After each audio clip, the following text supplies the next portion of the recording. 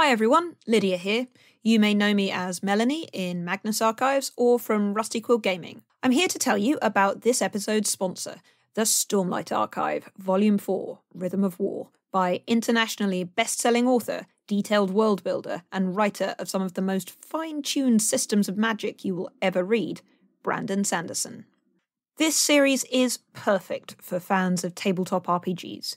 You'll love the aforementioned magic system and encounter some of the coolest places you'll ever read about. Ratcheting up the tensions, big and small, that Sanderson began in the Stormlight Archives Book 1, The Way of Kings, now is the perfect time to pick a side, join the fight, and dive into this New York Times best-selling series. Buy Brandon Sanderson's Rhythm of War, the latest in the New York Times best-selling Stormlight saga. Just search for Rhythm of War wherever books are sold, or visit the link in this episode's description for more information.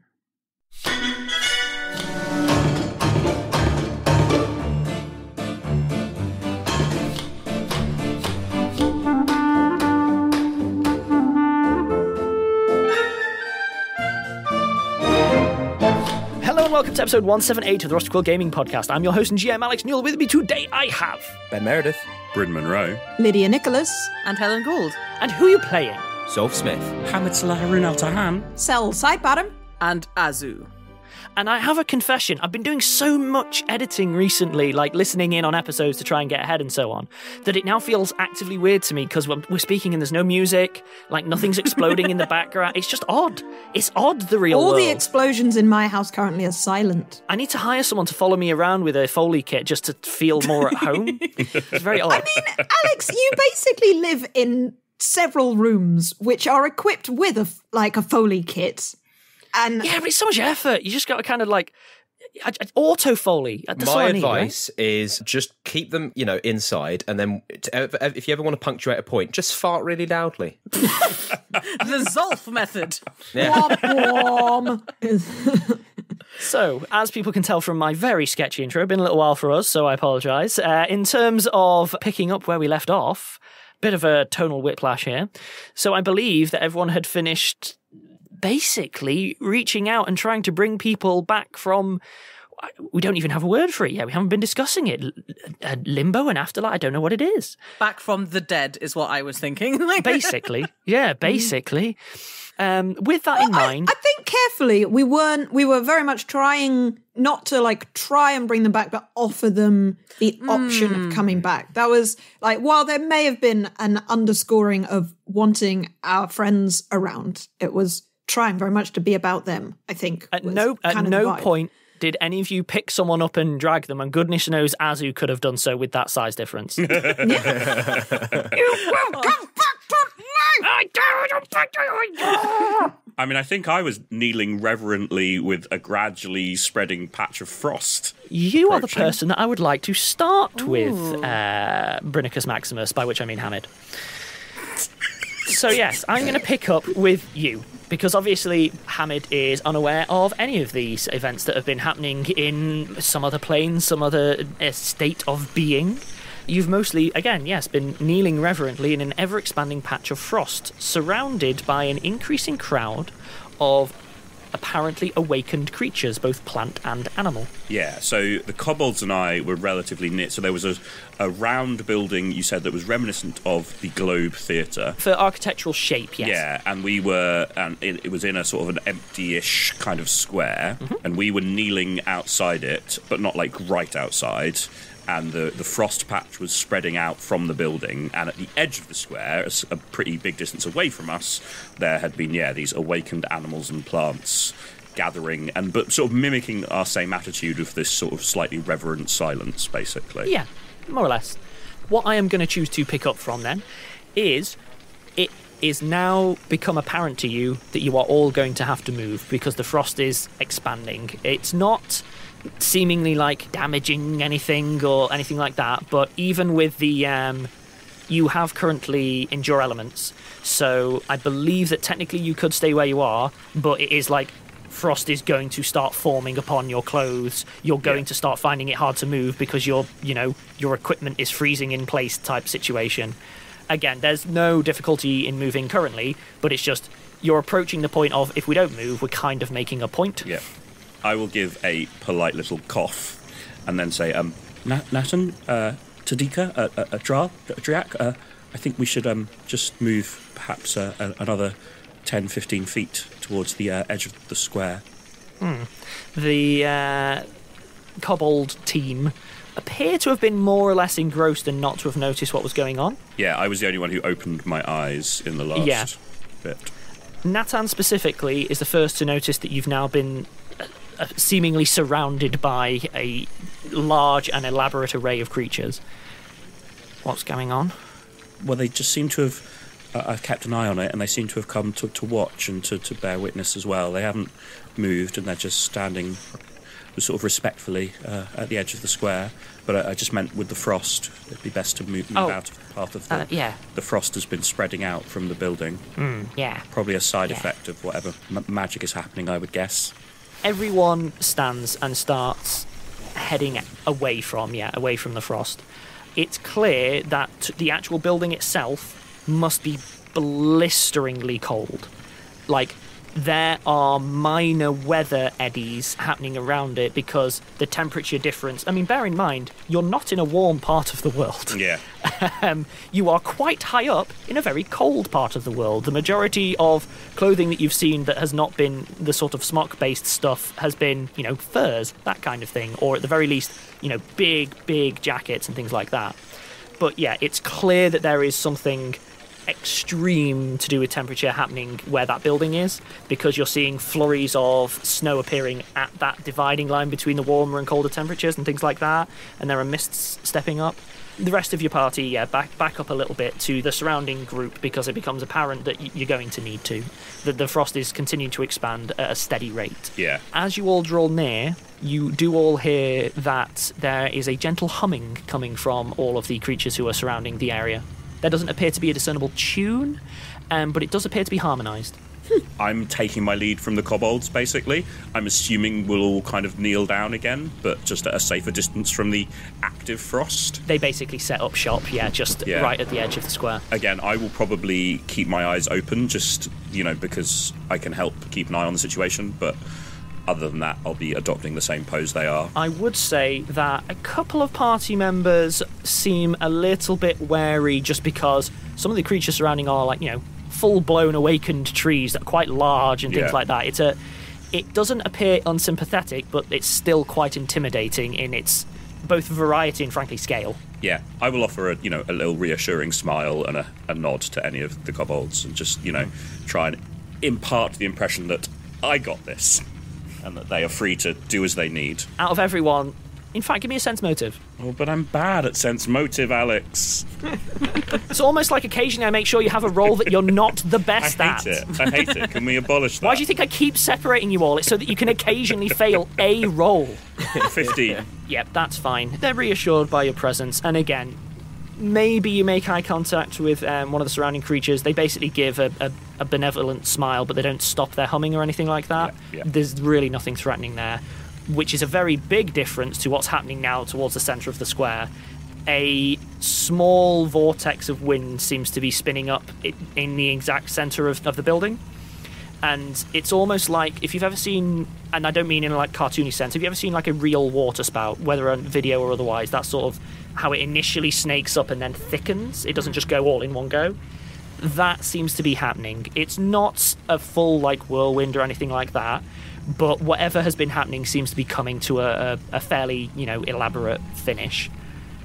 But just as it seems like this again i'm going to call it a water spout. It's mostly like you know snow and steam and that kind of thing. Just as it starts to thicken to the point it looks like it's reaching the bounds of the building suddenly diminishes very quickly and settles and the frost doesn't suddenly disappear but it ceases to advance and you start seeing it start to recede as the temperatures start to normalize and so on. The odd thing is is there's no actual like atmospheric sounds coming from all of this. It's a silent display where the only noise has been the humming which then peters to a stop. It doesn't all stop simultaneously or anything like that. It's just various various people start to um, you know quieten down till eventually everyone has and without a word everyone sort of just heads back into the rest of the town and, and backs away from the square. Hamid doesn't move, but he, he's tense. Like he's tensed up because he feels like whatever magic has been enacted has concluded. Yeah. At which point, then, I am going to jump to the rest of the party, if that's okay. Mm, mm-hmm. All of you simultaneously come to in your respective poses. Um, I know that some of you were sort of sat, some of you were kneeling, things like that. And the first thing that you notice as you sort of recede back into the world, as it were, is that those. You remember that there was those quite pungent smells as you were disappearing off. Those seem to have entirely dissipated. I believe all of you were also under the effect of endure elements, correct? Yeah. I cast it on literally everyone. literally every single person. hours. You just yeah, you spent the entire spell slots on it. As far as I can tell, I believe that none of you would feel anything other than kind of comfortable because that's how endure elements works. Looking around, if any of you open your eyes, there is a thick layer of frost over everything and everyone in this building. Like if you move, there will be the crunch of uh, ice as it's moving away, but you're all perfectly comfortable. I'm going to hand over at this point because I realise that you might want to be handling this in different ways. But yeah, you have all come to simultaneously. I guess one important question is what, what, what about corpses? What are they up to? And endure elements would not have been cast on them, just in case that's relevant. I'm going to describe them all at once then in that case, rather than separating it out. Okay. Carter is lay still with a shock of pure white hair now. Uh, for a moment, it looks like it might have somehow failed in some way, and then a very, very small amount of steam, like breath steam, pops out of the mouth, and the chest is moving. As far as you can tell, Carter just appears to be asleep. His demeanor appears quite sort of washed out, and there is a thick layer of frost upon his body. However, as he breathes, it starts to sort of crack and fall away a little bit. Jumping to Wild, similar situation. A shock of pure white hair now instead of anything else. Same layer of frost, and again, there's a delay, and then the breathing again. Sasra's horns specifically appear to have bleached. Oh, So they have gone a like a pure, not even bone white. We're talking like it's quite it's quite striking. It, it almost looks artificially coloured. ooh, funky. The scales themselves don't appear to have changed colour.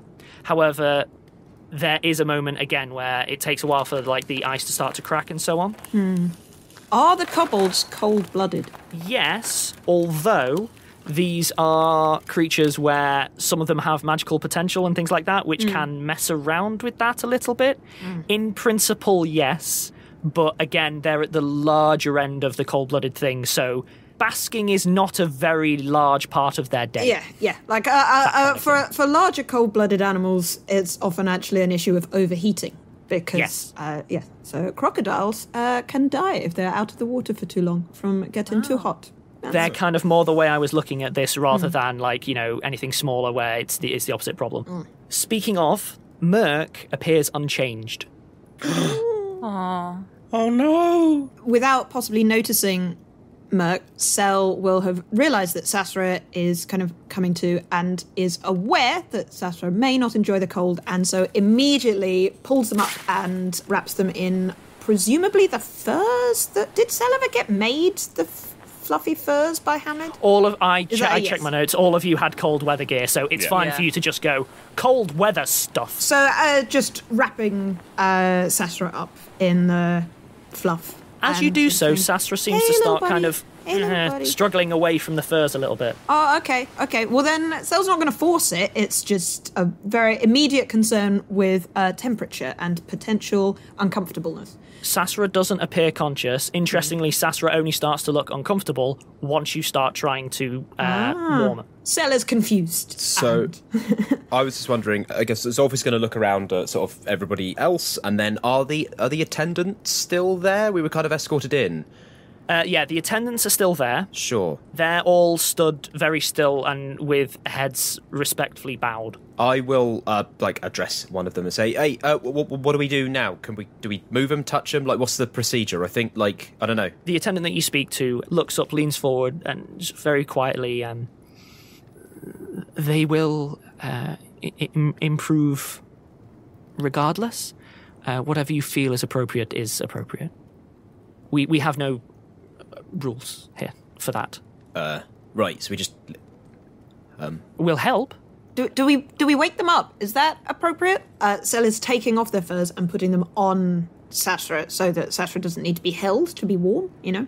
It it will do no harm, though often people are more calm when they wake on their own. Okay. Okay. Okay. all right. let's We'll just just- w- wait I'm here going to say that Azu hasn't heard any of this. Sure. And Azu is going to immediately lean down and like start smacking Carter gently in the face. Be like, wake up, wake up now. Hello. Hi. Hello. Hi, Azu. Oh, you're back. Azu's going to start crying directly onto Carter's face. Does that mean the tears are going to start like freezing midair and just plonking on him?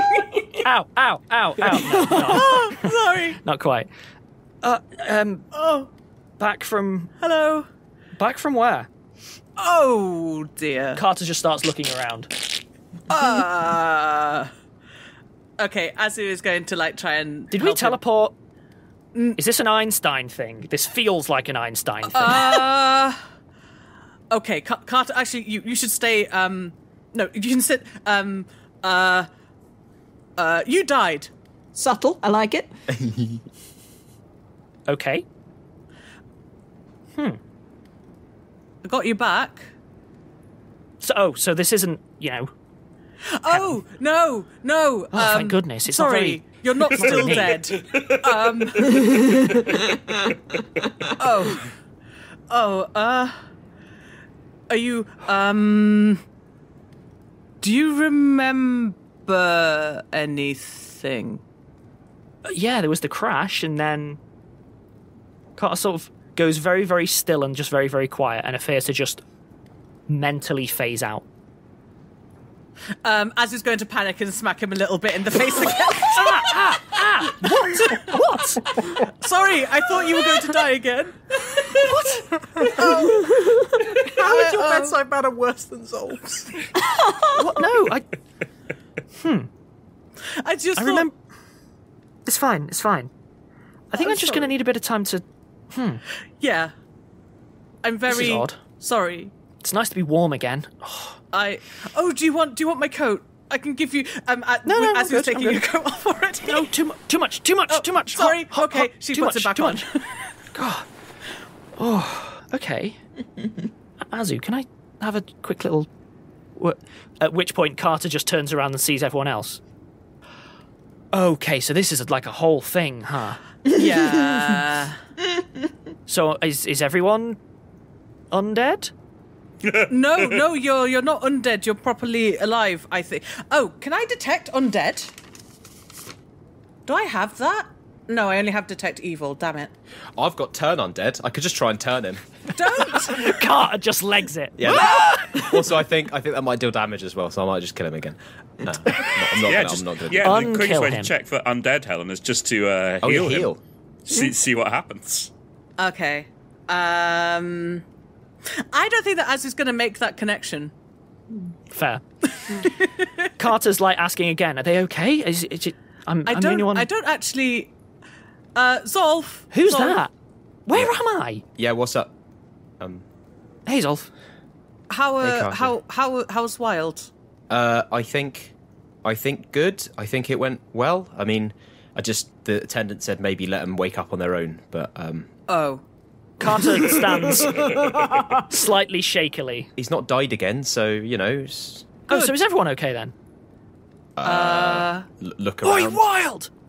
No, d- d- Wild! Carter, leave it. just, just please, please. I know you. What is Skrark doing? Nothing. Skrark doesn't appear to have awoken, never mind uh, taking any actions.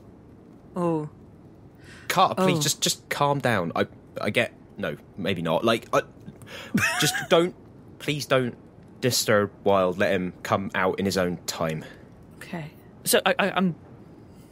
Look, this is my calm face. Look at my calm face. Yeah, no, uh, What's going on? yeah. Where are we? Who's this geezer? lot of we're on the back of a giant bear in a city which is on the back of that bear and a and a big eagle person sort of invited us up and they told us we had a way to get you all back if you wanted, and then um, that's that's what we've just done, I guess. And it looked like it worked for you, so congratulations on not being dead anymore. Carter sits back down, lies back down in the original position he was in, and just says, I'm okay. I'm obviously still not well, and that's okay. No, I think you're. I can. Oh, I can heal you. Uh, Azu casts lay on hands, I guess, and is going to attempt to heal Carter just in case. Sixteen for sixteen points. It says you're doing so, which, by the way, does not harm Carter in any way. Yay! You've all been far too uh, wrapped up in things to notice. You've known Carter a long time. Yeah. Like, once we factor in the journey and blah, blah, blah you actually have. And part of that is, you know, you, you learn to stop noticing what makes up, like, the person's sort of physical identity, like a minor pockmark here, a, a birthmark there, a, a scar there, whatever. Yeah. As you're healing, you notice two things. One, Carter doesn't need healing. Carter's at full health. Also, you notice that the majority, well, I say the majority, you notice that all of the blemishes, minor like scars, nicks, anything like that, appear to be gone. Ooh. Like the opposite of scurvy. Anti scurvy. It's just high dose vitamin C, this whole thing. Oh, uh, like your hair, by the way, Carter. I think it's a good choice. what? Oh. Carter tries to look at his hair, but he keeps it short, so he can't. Azu produces a mirror. Whoa!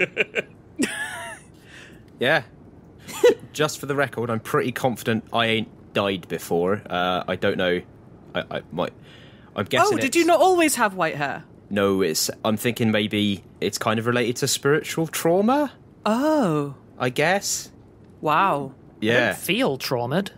No, I mean, I, yeah. Well, no. I mean, nor do I. But like a, a connection being broken or something. Hmm. You know, I used to be cleric of Poseidon and then stopped, and then this kind of happened. So, kind of, you died and you've come back, and that kind of happened. So, What do we think? Distinguished or kind of. no, it looks good. much. It's striking. Might make it. might make you stand out in a crowd though. So maybe wear some hats if you're trying to be, you know. Well, you know what? There are worse things than being noticed, right? I definitely would agree. I think you look great, as he says. And then she starts crying again. Well, yeah. Uh, guess what? As he's trying to say is, uh, glad you're back. Carter sits and doesn't appear to have noticed that he cutches in towards uh, Azu. Like it's it's an automatic reaction that he doesn't seem to have noticed, but he just kind of sits and sits comfortably next to Azu, like "Eh, okay. At which point, one of the attendants steps forward towards Zolf again, since you were the one who started talking, going, "We can um, we we can move you towards maybe um, a, a, a different space if you'd prefer. If you'd rather stay here, there's uh, no other use for this um, building." I, I, I know. Don't know. But do I? do what I- about Skrark and oh, Cel? How's how's Sasra? Uh, they're they're they're fine. They um, they seem to want to to, to lie there. Uh, Cel's uh like perched on their haunches and kind of arms on knees and just and has put the fluffy kind of winter clothes over Sasra. Every time you try, Sasra unconsciously apparently seems to just be kicking them off and pushing them off. Oh, okay. Well, then Sella's just sitting there, n- not processing really. Just you know, it's it's been an emotionally tiring day, and so just making sure that Sasra's breathing is that's ticked. That s- box is ticked. So they said the tenant said like they, they can kind of wake up on their own if if, if like I'm Uh, yeah, yeah. I, I, no, I, I, I heard. That's why I'm, I'm just, you know, there, there doesn't. I'm not gonna, I'm not gonna do anything. no what I mean More is just- I think yeah. like we, we've we've done our jobs we can Yeah, you know right. we're So- good, like I Yeah, guess. but I'm not gonna like leave. No I'm not no no I You know, not I'm saying, just I just gonna mean, sit. yeah yeah yeah no I'm And, I'm uh, also I'm just I point at wild sitting. and look, uh, yeah no I'm sort of yeah yeah I mean how is Skrark okay I don't it looks like he's still under uh, I don't know if that's a good or a bad thing Cel only notices this now. Give everyone give me perception checks. Okay. a roll 19 I got twenty five. Twenty five. Oh wow, because uh, Cel only got 22. So it's just Azu this time. That's that's a rarity. I don't know why. You always seem to just roll poorly when it comes to perception. what first appears to be complete stillness from Skrark on closer inspection, once you actually start paying attention, this is someone who seems to have every single muscle straining whilst at the same time being perfectly still. This is not someone sat comfortably still. This is someone going sitting comfortably still. Okay. Azu's going to go across to him then, and and be like, Skrark. I'm going to give it you for free. Um, Skrark clearly heard you, like a, a slight ear twitch and a, a slight shuffle. Um, I think it's over, Skrark. It's not over. Oh. Oh no. Um, Sorry, Alex. Important context. I think we're all assuming we we can remember what we because it uh, like 100%. Carson That's remember a good his. question. Yeah. Hundred percent. Yeah, it like Okay, straight okay. out the gate. hundred percent. It feels like you went to a different room, did some stuff, and then came back. there might be okay. some time dilation effects based on the the spaces that you were in, but yeah, you have complete memories of the event. Right. okay. And is Mir clearly cold and still? Yeah. Like now that you're looking, oh yeah, Merc, Merc Okay. isn't Skrark, I don't. I don't concentrating. Okay. Azu's going to back off. I am going to be saying now, if you want to leave Wild and Sasra to wake up normally, it's not going to be happening in like a couple of minutes. We're, we're talking hours. So I need to just gauge what it is that people intend to do so that I can then gauge where to go with this one. Cel will just be sitting there. If people leave, uh, they will ask if they can have a hot drink. I think Zolf will like sit vaguely uncomfortably for about five minutes and then go over to Skrark again. If Skrark is like still just like tensing. That's and, exactly what Skrark is doing, yeah. yeah. Hey, um, Skrark, I think I I, th- I think it's like properly over. I'm sorry, um, but I had a I don't know what yours was like. I had a chat, and it was a choice for them to come back, and I don't know what. Did you you you went under right, Just You do like it that? again. We can do it again. Just No. do it again. Skrark? Did you did you give them a choice, Well, yeah, obviously. and what did they choose? Wrong. Just do No, it again. S- Skrark. You gotta. They made a choice. You gotta let them go. That's. We can't. They made the wrong choice, so we could do it again. We're just going to sit here and we're going to do it again, and then they'll make the right choice, and it'll be fine. they made the choice that was right for them. You've got to. It's. I know it's hard, but you. It's selfish. It's. I think about that. I don't want that to haunt you. Is it really selfish? Or are you just a bit angry? Skrark suddenly leaps up, stomps over past one of the pots that was holding some um, some of the pungent incenses and stuff like that, bashes past it. It doesn't shatter, but it does fall, and then just stomps out the front of the building. Just bang, just stomps off. Oh, uh, I don't, I don't, should I? Uh, should one of us? I don't know. I don't think I did that right. Actually, maybe there isn't any way to do that right. Um, I am going to jump to Hamid temporarily. Hamid, a short while after all of the elaborate fireworks and so on, the frost has been continually receding. It has been not accelerating or anything, but it's clear that the ambient temperature is significantly warmer than whatever was happening, and it, it seems to be returning to normal. Just as the frost seems to be nearing the actual building itself, the door suddenly slams open, and out stomps Skrark. Stomps out, looks around, blinks briefly at the um, at the light, and then sees you, and then stomps around apparently to the back of the building. Just stomps off. Hamid sort of the second he sees the doors open, leaps to his feet, and as he sees Skrark emerge, he'll sort of he'll take a couple of steps forward without really conscious thought. But then once he sort of sees Skrark's attitude, he'll probably just freeze in place and doesn't know what to do with himself at that point, basically. This feels like a sensible place for a bit of a downer uh, break, and then we can come back in and pick this up, I think. And welcome back. So, So if Skrark is going to run off, then I, I will go back and revise. What Cel would have done with no other prompts is just sit there. But now, having seen that, they will get to their feet and take their winter furs and kind of put them back on and just say, uh, "Could could could one of you ask the woken kobolds what the respectful thing is to do for for Right. Merrick? Yes. Uh, I I didn't I didn't get to that bit of, of kobold customs. Sh- should I c- carry them out? Or Well, j- yeah, if, well, I, if, Should I- if you just, I don't want to put wanna- my coat over him because maybe that is something that's offensive to them. I don't know, but if you if you could ask, I will just. And Uh, Cel's going to go follow Skrark. okay, so so do I just just t- t- take him out or Just uh, no, just ask the kobolds, right? Go Okay. go out. Wait, ask uh, uh, them uh, what to do. I will just. I'm just. I just need to check that Skrark is okay, and then Okay. I'll, I'll I'll be back. I, I will turn to an attendant and go, "Can they come in, or is it okay now? Can can other people come in if they? We need to do. We need to. It, it's fine. This is not a holy spot. That's Okay, not we how just- this 'cause they- works. It's it's it's a it's a useful place. It's not a Okay, hallowed place. right. place. Okay. fine. Okay, I will. I will go and I will go and talk to the couple. Do you want me? Should we? Should we take? Should we take the other two out? Oh, I can yeah. carry. Folks, buddies, I do not think, and Cel just looks very tired. I don't think there's a rush, okay? There isn't a rush anymore.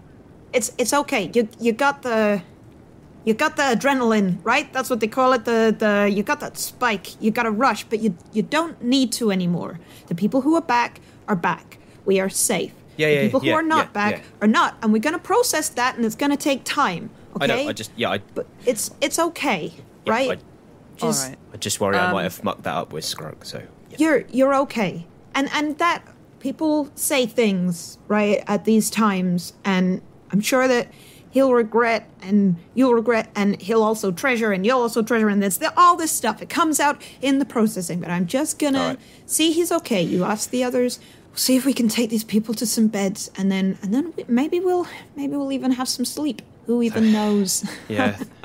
Thanks, Hel. sad laugh goes out the door And maybe Carter wants a drink. I will shout at the the sleeping form of Carter. Hmm. Uh, Carter, uh, yeah, No, he's Carter.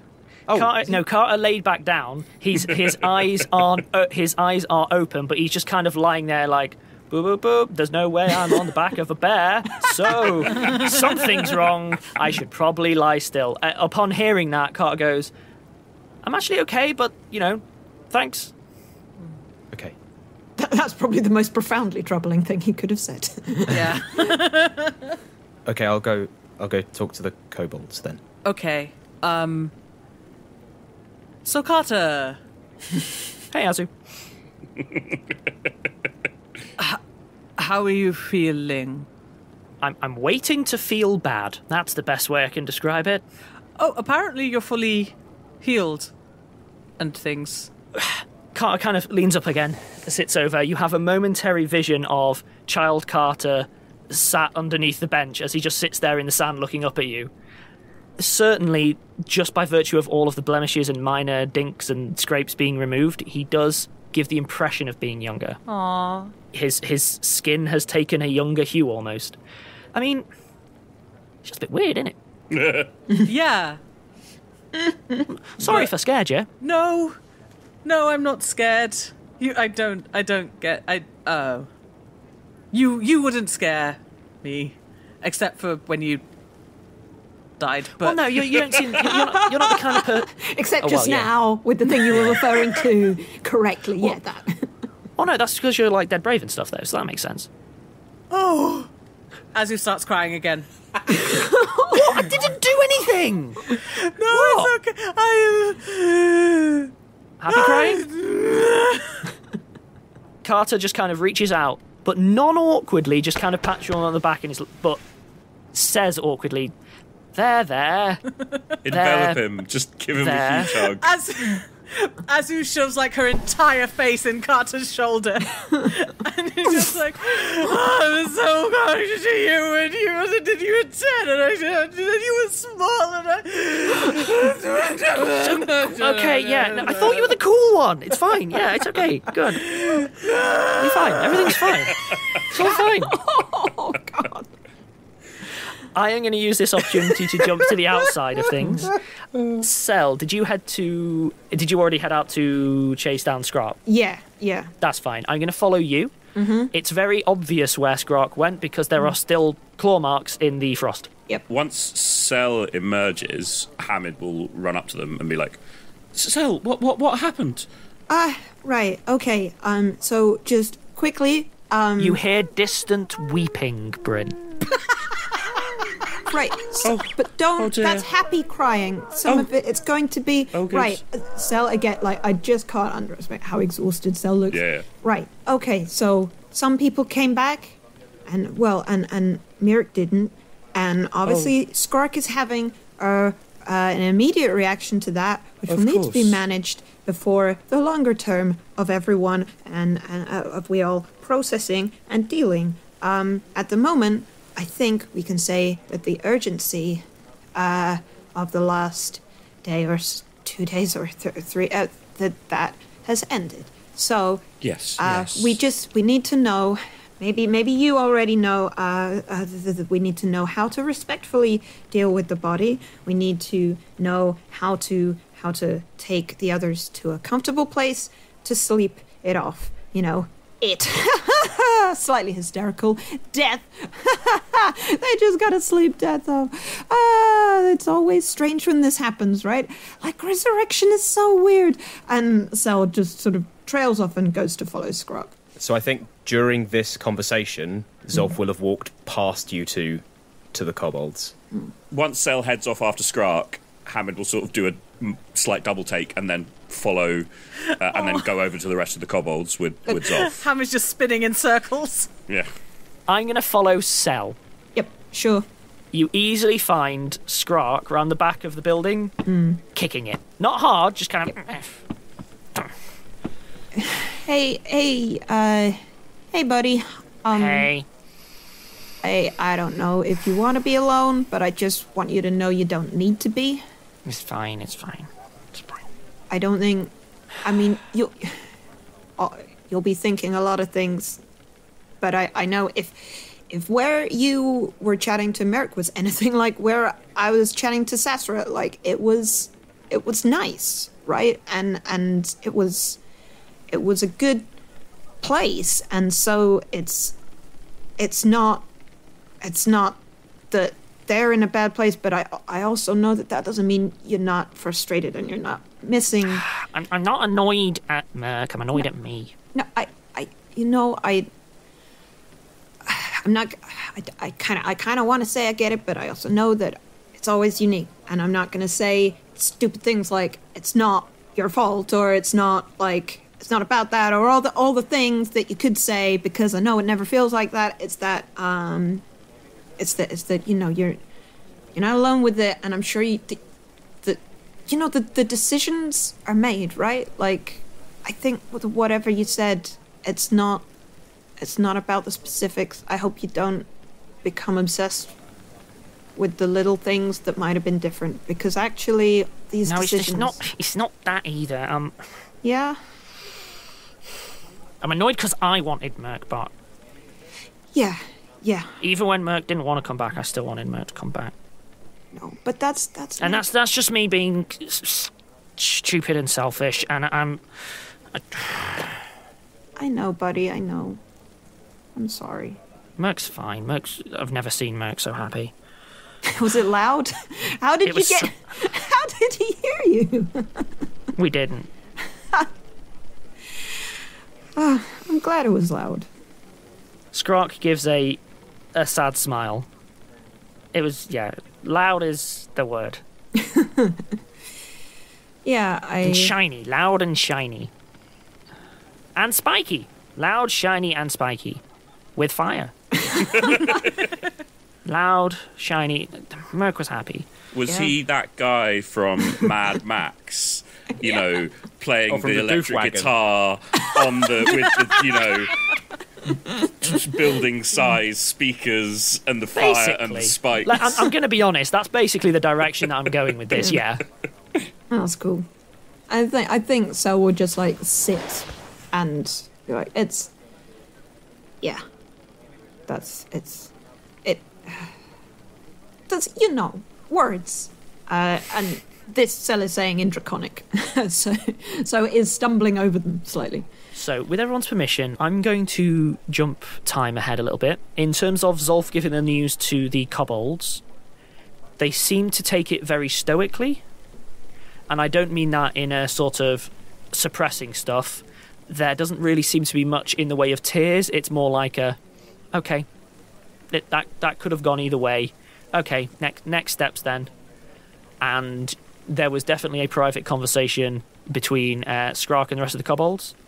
But I would quite like to jump ahead to basically end this episode on an on an image, if I may, mm-hmm. mm, Okay. which is night falling with the I keep calling it a city. Technically, it's not big enough. The town, night falling on the town, and as the sun is setting, a pyre has been set up in the square.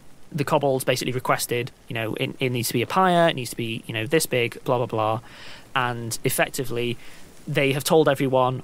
We just ask that uh, everyone observe and be quiet. And then the kobolds, you know, Merc is laid out. The kobolds each take a uh, corner of the pyre and invite Hamid to be involved if Hamid's willing. But there's no very, there's no yeah, pressure yeah. there.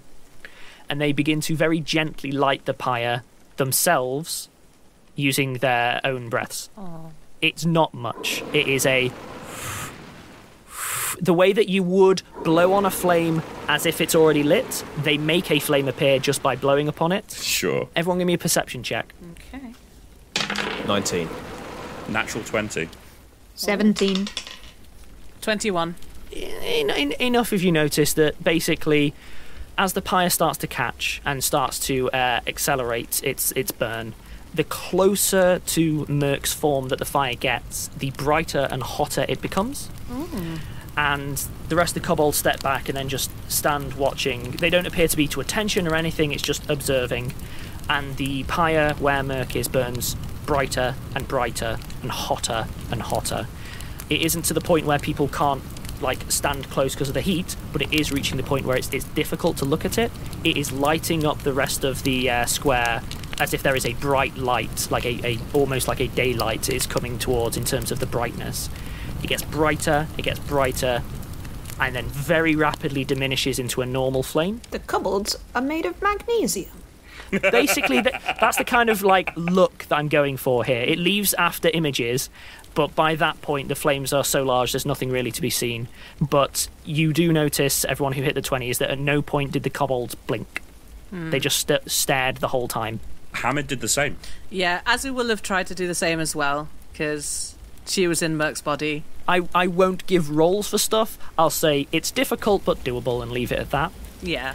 I'll end the episode, yeah, on, on that image. And as a point of clarification, the uh, the remaining people, so we're talking Wilde and Sasra, are basically, we'll say, laid out on a nearby bed, but not actually um, like taking part in the ceremony. They are they appear to be sleeping normally, but. I would like to end the episode on this one as a sort of bit of a coda. Hmm. But yeah, I would say that at no point have the kobolds cried or anything. It doesn't appear like they're restraining themselves it feels more like a send off than a big outpouring of grief. That's the best way to describe it. Hmm. And that's that. How are we feeling? I hope that the bear didn't get burned. I can confirm for you outside of our RP that the bear did not get burned. Okay, You see? Was- That's why they did it in the square. Always see. thinking, I Lid. see. Always It's thinking. got a nice stone floor or like, you know, a nice see? thick saddle so it got- doesn't get hurt. Okay. Or she, I got you covered. Yes. Okay. Just mm, okay. Bear is okay. Is, is Yeah. confirm. Good. It's very important. then I guess we will pick this up next week where we'll take our next steps. But I can confirm everyone will have time to sleep, which Yeah. you know, occasionally I grant you. But until that time, it's bye from me. So bye, everyone. Bye.